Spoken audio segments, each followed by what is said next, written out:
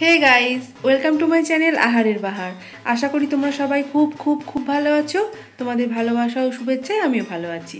তো দেখো, আমাদের দুর্গাপুজো শেষ হয়ে গেছে। শেষ হয়ে গেলেও কিন্তু উৎসবের রেশ আমাদের মন থেকে এখনও কাটেনি।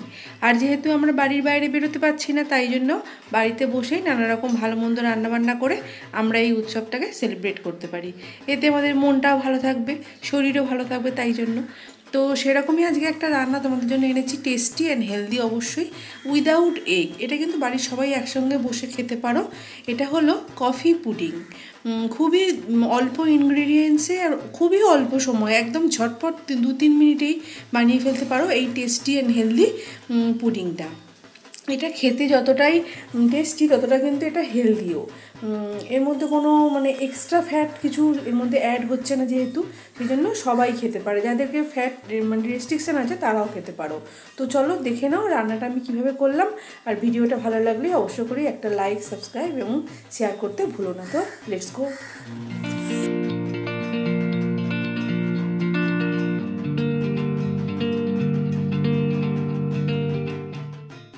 তো দেখো, রান্নাটা করতে প্রথমেই যেটা আমি নিয়েছি সেটা হলো দু চামচ মতো আমি কর্নফ্লাওয়ার নিয়েছি। এটাই কিন্তু এটা মেন ইনগ্রিডিয়েন্টস আর যতটা দুধ নেবে সেই পরিমাণে কিন্তু কর্নফ্লাওয়ারটা নিতে হবে।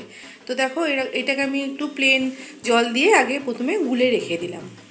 খুব ভালো করে এটাকে মিক্স করতে হবে যাতে এর মধ্যে কোনো লাম্প না থাকে। তো এটাকে মিক্স করার পর আমি এর থেকে একটু বড় বোল নিয়েছি, যেটার মধ্যে আমি পুডিংটা সেট করব। তার মধ্যে একটু অয়েল অল্প করে গ্রিস করে নিচ্ছি। যেহেতু এটা কাঁচের পাত্র সেই জন্য খুব বেশি অয়েল না দিলেও চলবে। তো এটাকে আমি করার পর এটাকে আমি সরিয়ে রেখে দেবো। এরপর দেখো আমি গ্যাসে দুধ বসিয়েছি। এটা দু কাপ দুধ আছে। যারা বাড়িতে যে পরি মানে যেরকম লিকুইড দুধ ইউজ করো সেটাই নেবে। এর মধ্যে আমি এক কাপ ছোটো কাপের চিনি অ্যাড করলাম। এটাকে এবার কন্টিনিউ একটু নাড়তে হবে। যতক্ষণ পর্যন্ত এটা ফুটে না আসছে আর চিনিটাও যতক্ষণ পর্যন্ত গলে না যাচ্ছে।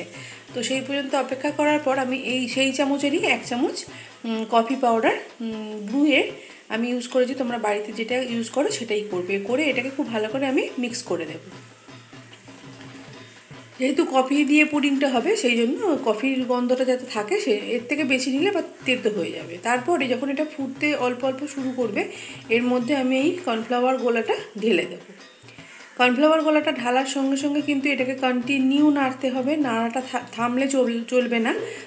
কারণ নাড়াটা থামলেই এটা নিচ থেকে লেগে যেতে পারে। তো এই সময় কিন্তু আঁচটা মিডিয়ামে আছে। দেখো এটা ফুটে ফুটে এরকম একটা থিক ব্যাটারের মতো হয়ে যাবে। তোমরা দেখতেই পাচ্ছ এটা কতটা ফুটে ঘন গাঢ় হয়ে যাচ্ছে।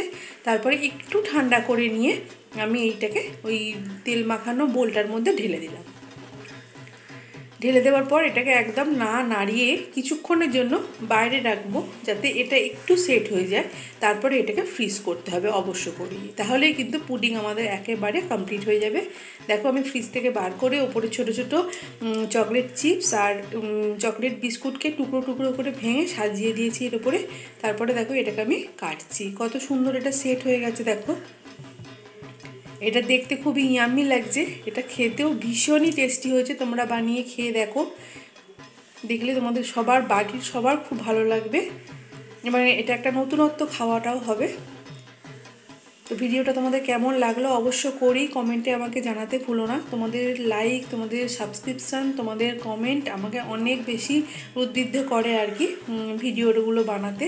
তো আজকের মতো এই পর্যন্তই আমি আসছি। এরপরে তোমাদের জন্য আশা করি আরও অনেক ভালো ভালো ভিডিও আনতে পারব। প্লিজ প্লিজ আমার পাশে থেকো, তোমাদের সাপোর্ট আমার ভীষণই প্রয়োজন।